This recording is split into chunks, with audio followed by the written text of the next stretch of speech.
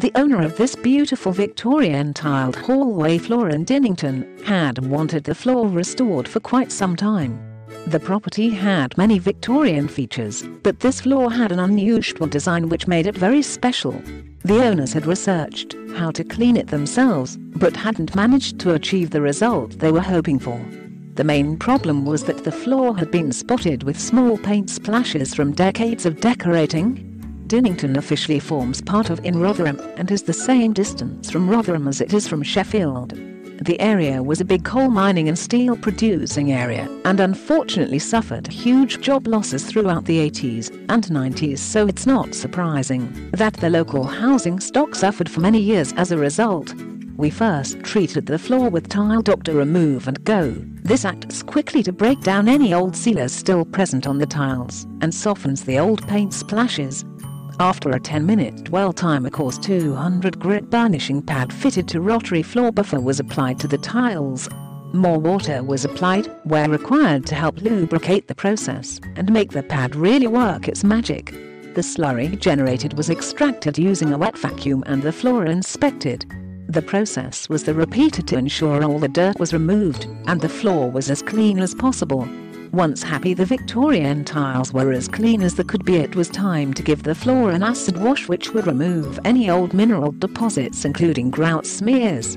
We also recommended this for old Victorian floors which do not have a damp-proof membrane installed and can suffer from white efflorescent salt deposits as moisture rises through the tile. To do this tile Dr. Acid Gel was scrubbed into the to the floor using a 200 grit burnishing pad to make the acid gel work hard. Afterwards we rinsed the floor several times removing the slurry with a wet vacuum. This kept the mess to a minimum and the floor was already looking great. The floor was left to dry over the weekend and we would return the following week to carry out the sealing process. The following Monday we returned to seal the floor. First, we used the moisture meter to test the floor, we needed to ensure it was as dry as possible before sealing it. The client wanted a traditional look, so we opted for Tile Dr. Color Grow which is a color enhancing sealer that leaves matte finish. This product is perfect for this type of floor as it is fully breathable allowing moisture to pass through the tile and sealer and not become trapped under the floor where it could spread to the walls and cause rising damp. Four coats of Color Grow were applied in total allowing each to dry before applying the next.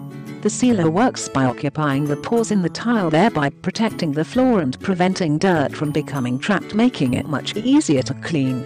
I was very happy with the result. The floor was now in great condition and was one of the more dramatic in color and pattern that I had come across. My customer also felt the same and left the following feedback for me. Matt did a professional and thorough job. Our Victorian hall tiles really pop with colour. Highly recommend. Karen T. Dinnington